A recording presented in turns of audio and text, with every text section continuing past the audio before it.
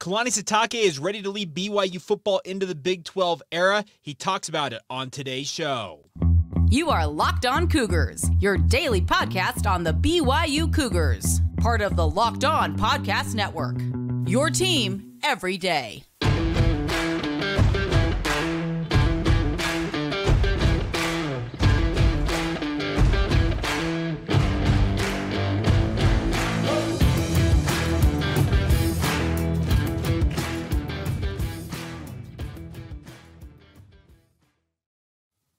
What's up, everybody? I'm Jake Hatch, your host here on Locked On Cougars, your resident BYU insider. Thank you for making Locked On Cougars your first listen today. Thank you for being everydayers with us here on the Locked On Podcast Network. We are your original daily podcast focused on all things BYU sports. So, big thank you to all of you once again for making it a part of your day, no matter if you're listening to it on the first thing you wake up or if you're watching it uh, at night. No matter when you listen to it, thank you for checking it out and supporting my work. All right, let's dive right in on today's show. Had a great opportunity Monday afternoon to catch up with BYU head coach Kalani Sitake. Obviously, he is going to be the man that ultimately everything is going to kind of fall upon as BYU enters the Big 12 conference. Cougars stumble out of the gate, people are going to blame Kalani. Cougars absolutely rocket out of the gate. Guess what? Kalani's going to get the praise. He understands what he's up against because this is a guy, as he is fond of saying, grew up a BYU fan, had the uh, good fortune to be able to play for one of the legends of the game in LaVell Edwards, the guy he has always wanted to emulate at BYU. And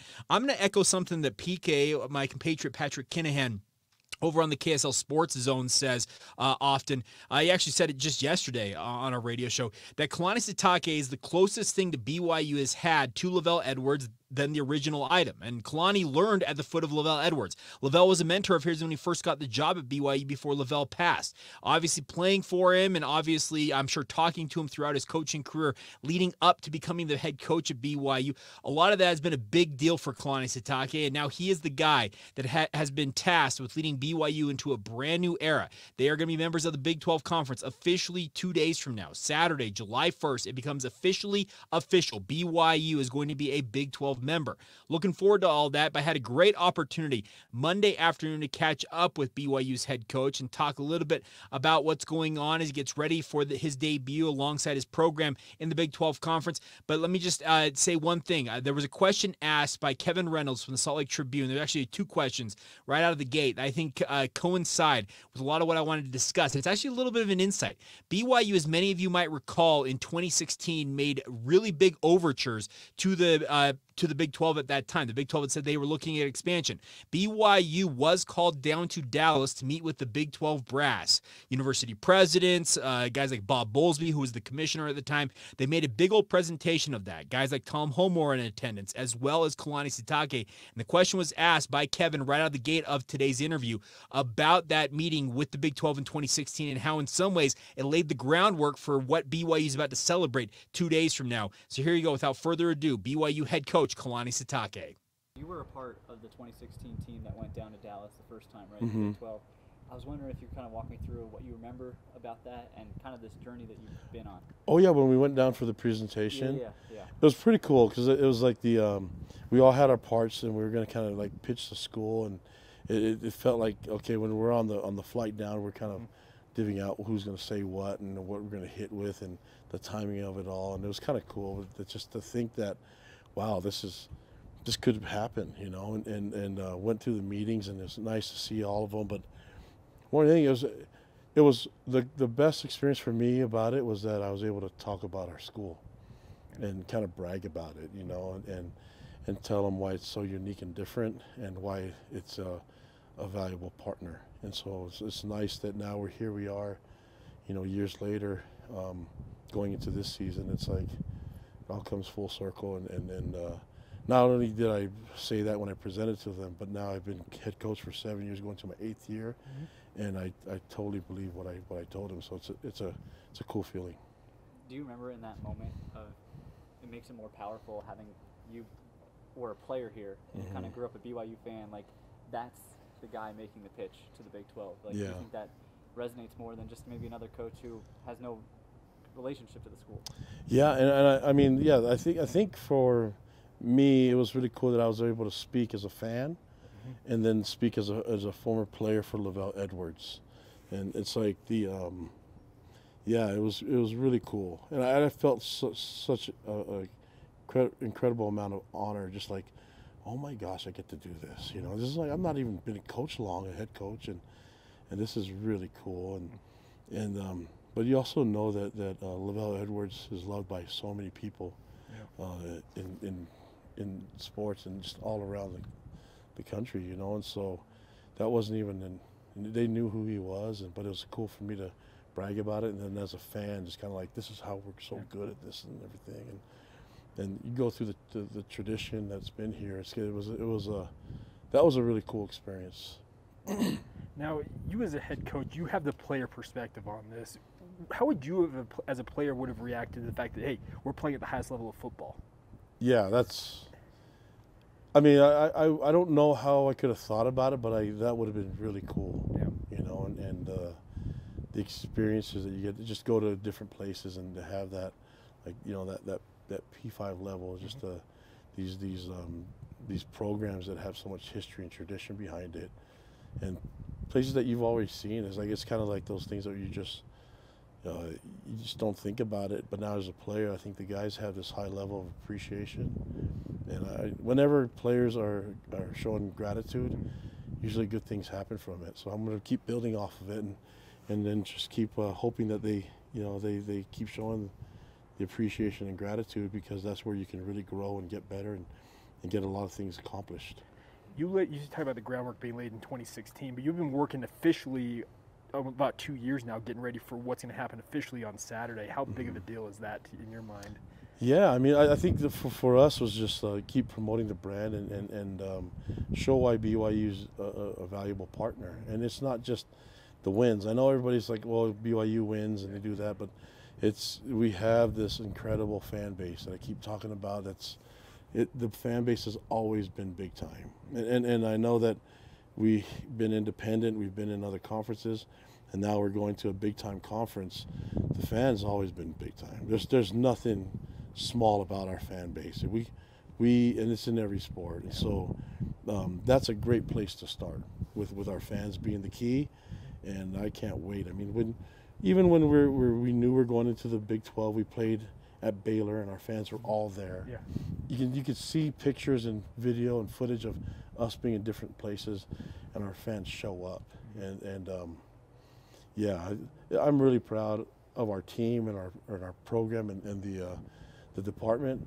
I'm so I'm so freaking proud of the fans. I mean, they're the ones that really have been waiting for this, and they're the ones that deserve this more than anybody. They, they deserve this opportunity to go big time because they've been big time, and now this just really confirms it.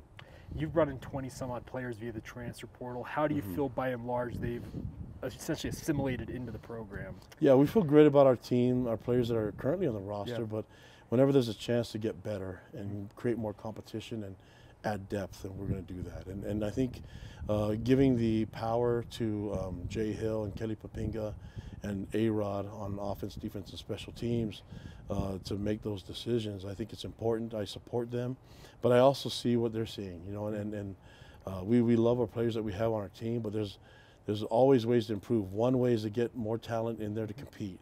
So when they, when you compete and you get competition brewing, um, it just gets the best out of everybody. And so, but it also allows you to have great depth, you know. And so when we, we get that accomplished, um, good things happen. But also the the camaraderie and the brotherhood that, that joins you when you're competing at a high level is something special. And we've already seen it from Kedon as, as our quarterback, yeah. and how he's embraced this program, embraced the, the, the the culture and the community, and what he gets to represent. I mean, he's all in, you know, and and, and um, when he does that, you see that quarterback room.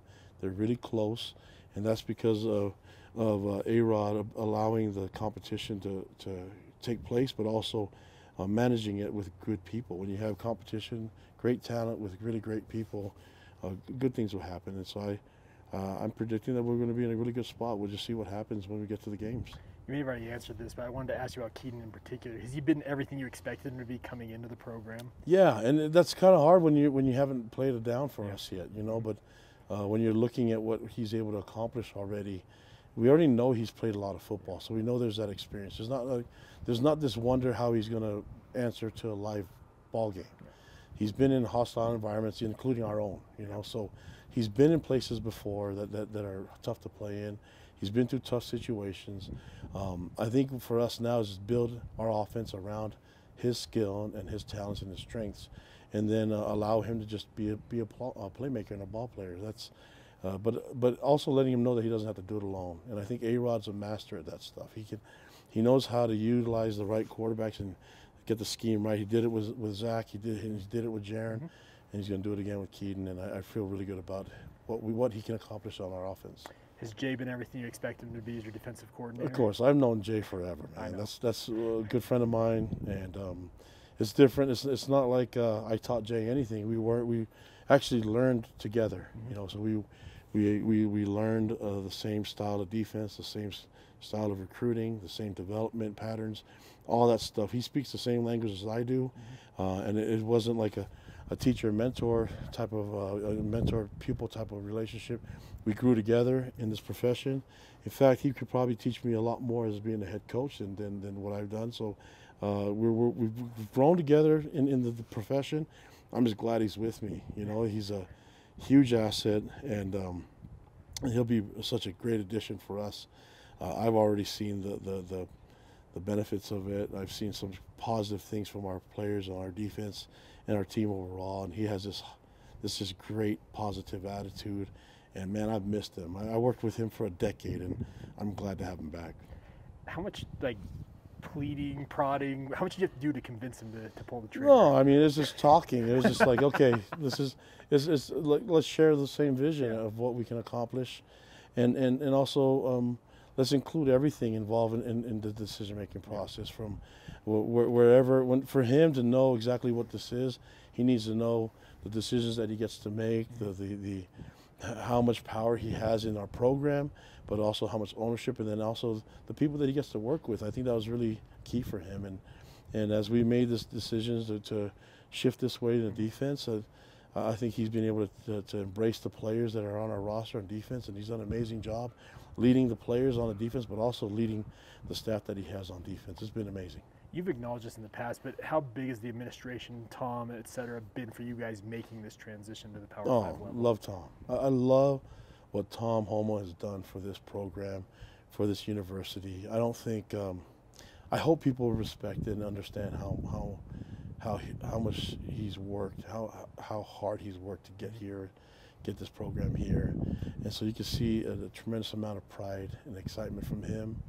But yeah, he, his vision and the way that he's able to work with his staff, with everyone involved. I mean, with with when you're looking at his staff and the, the administration, the athletic department, they've been amazing, and and uh, he's never stopped working. And so now that we're getting to the Big 12 this week, he's not going to stop working. The guy just works all the time, and I'm lucky that he's my AD. How has it been just with associating with these new coaches and other administrators in the Big 12 so far? I know you haven't been to media day or anything like that, mm-hmm. but how's it been in, in, the limited interactions you may have had so I've far? I've been around them. We've okay. had meetings in in, in, in uh, Arizona, okay. Big 12 meetings and things yeah. like that. So, and we did that last year. We did it this year. I've I've been at uh, um, you know at, at uh, coaches events around yeah. them. So you know, we, Co- LaVell started a coaches classic that I was a part of, and at Pebble Beach, so I did that. I mean, my golf game's not great there, but it was cool that I played these these holes on Tiger Woods. You know, sure, yeah, absolutely. out here, uh, duffing shots on the same hole that Tiger Woods got birdies and eagles on. Anyways, um, but in these in these events, whether it's a Nike event or a Pebble Beach event or whatever it is, I get to mingle and hang out with the coaches and. In, in, in these uh, meetings that we've had, Big 12 meetings in Arizona, have been really cool. Just to hear them, we, we've had, we've spent time yeah. talking about different things in college football and in the conference, and uh, I'm just I'm just really happy to be part of that group and uh, great coaches, great men, and you hear them and just they have this passion and this love for their team and their players, and uh, we can all agree on that. That that's a that's where we begin. And as a coach, that's why we got into the business. But I've been I've been really impressed with all the coaches in the conference. There you go, BYU head coach Kalani Sitake uh, talking with myself, and as mentioned, the opening two questions by Kevin Reynolds. But great stuff all the same. You can tell he's excited to have the guys around him who are going to be around him, leading BYU into this Big 12 era. Obviously, Jay Hill coming in and him talking about the fact that he wanted to essentially align his ideas for his defense alongside uh, Jay Hill's and work together. I think both of them working in tandem with one another, as he mentioned, they grew up together in the business. They're going to work very, very well together, and I cannot wait to see the fruits of their labor together. Now, is it going to come off right away? No, I don't think so. I think it's going to take some time for BYU to experience the success on defense they believe that they can have, but uh, I'm not going to count anything out. These two guys are very, very bright minds when it comes to defense in particular. I've got no doubt that they will do their absolute darndest to make sure that BYU is in the best spot they possibly can be as they compete in the Big 12. It's a massive massive undertaking, but you can tell Kalani is confident, he's ready, and he's just eager to have it here finally. It's been the better part of two years officially The BYU has been officially, uh, unofficially, officially a member of the Big 12 Conference, but the groundwork's been being laid since way back in 2011 when BYU made the announcement they were going independent. They had every goal, every uh, thing that they did in independence was that the the end goal was to make it to the Power Five level, and now they're literally just days away from celebrating that, and like I said, 65 days away from today officially kicking off their Big 12 era in football. We're under that. We're just over a month away, I think, from BYU soccer officially beginning the Big 12 era in their own right. We're the first sport uh, to start that out, but very much looking forward to it. And a huge, huge thank you to Kalani Sitake for joining us here on the podcast. All right, coming up here in just a minute, the worst kept secret in BYU uh, when it comes to the transfer portal additions. A guy that I've talked about multiple times on this podcast. We're going to talk about a guy named Simi Moala coming up next, right here on Locked On Cougars. First, a word on our friends over at FanDuel. They've been working with us for quite a while now. And the best part about FanDuel is, folks, is they want to help you guys out. Baseball season is in full swing. They want nothing more than to help you guys have some fun in the sports gambling uh, industry. If you want to do that, take your first swing at batting at betting on the MLB with FanDuel and get 10 times your first amount in bonus bets up to $200 back, my friends. That's right. Just bet, bet 20 bucks and you'll land $200 back in bonus bets, win or lose. That's $200 you can spend on everything from money line to over under. Who do you think is going to be the first home run in any given game? All on an app that's safe, secure, and super easy to use. Plus, you can when you win, you can get paid out instantly. It's my favorite feature of FanDuel is the fact you can get paid out instantly. No having to hit a, hit a reserve amount of money before you can cash out. They'll pay you out whatever you win as soon as you want it paid out. There's no better place to bet on the MLB than with our friends at FanDuel, America's number one sports book. So sign up today and visit FanDuel.com slash locked on to get up that 200 $200, excuse me, in bonus bets back. That's fanduel.com slash locked on to learn more now. That's FanDuel, official partner of Major League Baseball. Thank you once again for making Locked On Cougars a part of your day. Thank you for being everydayers with us here on the podcast. All right, time now to talk a little bit more about Simi Moala. Now, I've been alluding to this, reporting it, saying that, hey, I would anticipate that Simi Moala is going to be a member of the BYU football program. He went on Ben Criddle's show on ESPN 960, good friends of the podcast. I love Ben. I actually worked with him back in the day. I was his original producer, funny enough, for Cougar Sports 960. It's a, been over a decade since I uh, helped start that show, but he's done great things with it, and he has Simi Moala in studio talking with him about his decision to attend BYU. So uh, it's, it's officially unofficially official. I don't know what you want to term it, but Simi Moala said he's going to enroll at BYU and play this fall. It's officially on the record that it's going to happen. It's been unofficial. I've been hearing from multiple people, hey, keep an eye on Simi Moala. He's going to play for BYU. Okay, great. When the official announcement comes from BYU, I'll be happy to do that. And we are still officially waiting word from BYU on that. Could that be grades? Could that be making sure there's eligibilities in order with the NCAA? There's a myriad of different things that need to be uh, checked off the checklist, so to say, to make sure that Simi Moala is squared away when it comes to playing for BYU, but anticipate Simi Moala playing for BYU. Now, I was waiting to talk about this until the word kind of officially got out uh, about one uh, crucial piece of information. And it's not really crucial, I guess, but uh, I've had enough conversations with folks. And people, when I've talked about Simi Moala, have hopped in my mentions uh, uh, on social media, have mentioned in our YouTube comments as well, saying, Jake, Simi Moala has been sitting out for an entire year. How, how good can he truthfully be? What can he ultimately offer to BYU that they don't have on the roster right now? And frankly, I don't necessarily think you're wrong wrong in having that thought about Simi Moala joining the BYU football program. But as I have said previously when we've talked about this topic, you can do a lot worse than bringing in a former all conference Pac 12 lineman like Moala. This is a guy who has got elite size for his position. He'll probably play offensive tackle, and I think he'll come in and compete for playing time right away. Will he push a guy like a Caleb Etienne for starting reps at right tackle? Because I think that Kingsley Suamataia, it would take a Herculean effort uh, to unseat a guy like that at left tackle. But could Simi Moala come in and establish himself as BYU starting right tackle? I'm not counting out of the realm of possibility. He's all a six foot seven, 300 plus pounds, and if he's in shape, that's the biggest thing. Also, he's been spending a year out of football is he in playing shape right now? Is he ready to step in and immediately compete for playing time? That's all going to be determined should A, he get enrolled in school, and obviously B, be available once BYU hits the field in early August for training camp. But there's no reason to think that bringing in Simi Moala is a negative for BYU. This is a guy who is invested in football. He told Ben Criddle, I took a year off to work on myself, and I still uh, am in love with the game, and I want to get back to it. That's the type of thing you want to have. Uh, easily, could guys can step away from the game and say, you know what, the grind just isn't worth it for me. There's other news yesterday. I reported on Twitter that former BYU running back Sione Finau, who has not played in I think at least one season, maybe two seasons, is going to enroll at Utah State. He uh, posted on Instagram my new home and tagged USU football in it. So uh, a guy like Sione Finau, who way back in 2019 as a freshman for BYU was the Cougars' leading rusher. Obviously, Tyler Allgeier during the 2020 and 2021 one campaigns really became the star for BYU running back, and that rendered a guy like uh, Sione Finau to a backup role. And now, all these years later, he's officially going to enroll at Utah State, but hasn't played in over a year. It's going to be a similar circumstance, I think, for a guy like Finau, like it is for Simi Moala. I, I believe both of them, the one thing you can count on is the fact that they sat out of football for some time and easily could have said, you know what? I, am good. I, they could have just said uh, the grind isn't worth it anymore. I'm going to move on with life and do something different. The love of the game at, at, some level has drawn them back into playing college football, and you can do something with that. Guys that are invested that want to put the time in, you can work with that. It may take Simi Moala maybe this season to get himself back into fighting shape, quote unquote, and be ready to contribute for BYU. But here's the thing. Like I said, he is an all former all conference lineman. He has got the genes, he's got the God given talents to be a star player for BYU along that offensive front.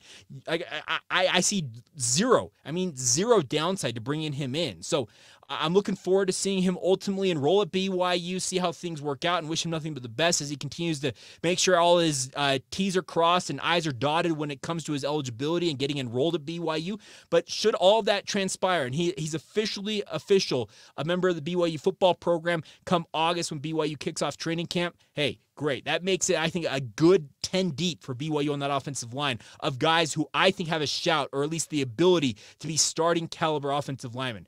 It's an awesome uh, problem for a guy like Darrell Funk to work with. Iron is absolutely going to sharpen iron. This could truthfully, and I'm dead serious about this take. I've talked about in the past on this podcast about different offensive lines I think are some of the deepest, most talented in BYU history. Mm, this 2023 offensive line on paper, maybe literally the deepest and the most talented BYU's ever had. And I, I'm I'm I'm I'm reticent to say that because they could obviously upgrade themselves, and obviously we talked about this going into last season how we felt the offensive line was going to be a better unit than we most of us probably thought, and they didn't really live up to expectations in the run game. They lived up to it in the pass protection realm, but the the depth and just the, the accolades that this offensive line coming in for BYU has, I'd be hard pressed to find a better offensive line in their program's history than this one. Maybe some of some of them in the 90s, some in the 80s would have a shout, but in terms of the overall ability to potentially go 10 deep at minimum that have uh, either started games in their college career or are guys that I think talent wise are future starters or if not already starters it's hard pressed to find a better unit than this. And I think Simi Moala absolutely adds to that list. So tip of the cap to Ben Criddle for getting the scoop on everybody and actually getting Simi, Moala on the record and looking forward to him ultimately getting enrolled in school and hopefully competing for BYU once they hit the field in August. All right, we'll uh, wrap up today's show with a look back at the regular season finale in 2018 for BYU football. Maybe Zach Wilson's finest performance, but we, we will find out later that it was not his finest performance of the season, but it came in a loss, and we'll talk about that as we continue on right here on Locked On Cougars. Thank you once again for making Locked On Cougars a part of your routine, my friends. Now, uh, we're wrapping up the 2018 season here with a look back who's gotten through all 155 games in BYU football history. And Zach Wilson obviously was trending upward. We talked about it for those of you who are everydayers on yesterday's podcast, how he posted really solid performances, not perfect performances, but solid performances that indicated he was starting to really grasp what BYU was running in wins over UMass as well as New Mexico State. Well, BYU officially had reached bowl eligibility with that win over New Mexico State and obviously was going to wait to find out where they would play in the postseason. But for the only time in independence, uh, BYU finished up the regular season with a road game at Utah. It was due to a quirk in the Pac 12 schedule that allowed BYU and Utah to play this game on Thanksgiving weekend. And BYU came out of the gate absolutely flying. Remember, Utah in this game, BYU came into it six and five. So not necessarily an elite season, but a solid season, a bounce back year, obviously, after the 4 9 debacle of 2017. But Utah, on the other hand, wow, Nine and two, uh, ranked 17th in the country coming into this one, had everything to play for. It felt like in so many ways. But BYU and Zach Wilson took it to Utah early on in this one. Obviously, the storyline going in, it's Zach Wilson playing as a true freshman against the squad he grew up rooting for. The picture of him with Kyle Whittingham as a youngster in uh, youth football camps at Utah was featured prominently in the pregame uh, talk. And here's the thing about this: he went out along with the rest of BYU and absolutely took it to Utah. They actually led 20 to nothing. If you were will recall, uh, midway at excuse me at halftime of this game, got up 28 to seven, and then Utah.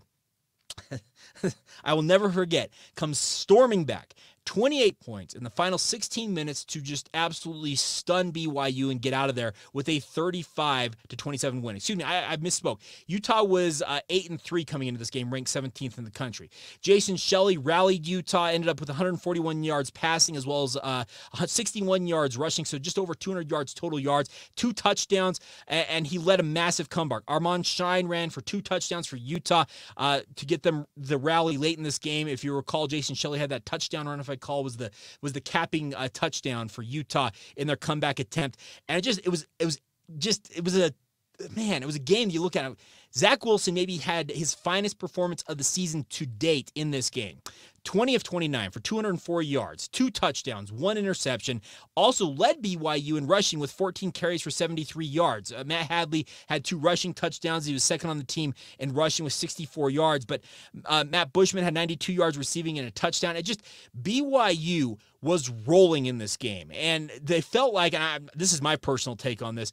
It felt like BYU went into prevent mode on offense. They were like, you know what, we're going to run the ball. We're going to assault this game away they learn their lesson at some point, you'd hope at some point, to never, never take your foot off the accelerator when it comes to facing off against Kyle Whittingham in Utah. You give the Utes an inch, they will take a mile. And that's exactly what Utah did. They came storming back, as I said, 28 unanswered points to stun BYU 35 to 27. And uh, there are a lot of the games in that run that BYU lost, the, te- the nine straight games they lost to Utah over that decade. They were unable to get over the top against their top rivals. But this one is one of the ones that stings the absolute most because you had no business, and I, am serious about this. They had no business losing that game in particular because you storm out to a 20 nothing lead at halftime. You're up 28 to seven, uh, excuse me, 27 to seven at one point in this game. How in the world do you take your foot off the accelerator, thinking, you know what, we're good? Utah had literally uh, everything to, to play for, pride, etc. I know it didn't count for them when in terms of the Pac-12 standings, but it's a rivalry game. You could not afford to take your foot off the accelerator. And what did BYU do in this game? It's exactly what they did. They tried to just go, we're going to go run mode. We're going to we're going to salt this game away and they paid the ultimate price by losing a game. Uh, in my opinion, they really didn't have much business losing. But uh, Utah gets the win and it drops BYU to six and six. And we would find out after this game, obviously, as bowl games were announced, that BYU is going to make the trip to Boise, Idaho, to play in the famous Idaho Potato Bowl. They face off against Western Michigan, and we will talk about the best performance of Zach Wilson's young career coming up on tomorrow's show because it was a good one. And I actually got a really funny story about where I watched that performance for Zach Wilson from. We'll talk about that on tomorrow's podcast. All right, so there you go. Uh, that's everything you guys need to know about I, that I can think of on a Thursday. Uh, tomorrow, I decided to push the mailbag to a Friday. So if you got questions, send them in now via email, lockedonbyu at gmail.com. Drop us a DM on Twitter, Locked On Cougars, Facebook, Instagram, or Twitter. You can search out there and drop us a note there. Uh, my personal Twitter feed is Jacob C. Hatch. You can DM me or just uh, send me a tweet. Let me know what your questions are, and we'll get to as many of them, if not all of them, that come in on tomorrow's edition of the podcast. So thank you once again for making making Locked On Cougars your first listen of the day. Cannot thank you guys enough for your support of the podcast. As always, until tomorrow, about also thank you to all of you who are everydayers and thank you to all of you who have submitted entries for our giveaway coming up later this summer. If you want to do that, once again, also lock lockedonbyu at gmail.com is the email address. So once again, until tomorrow, have a great rest of your day, my friends. This has been the Locked On Cougars podcast. See ya.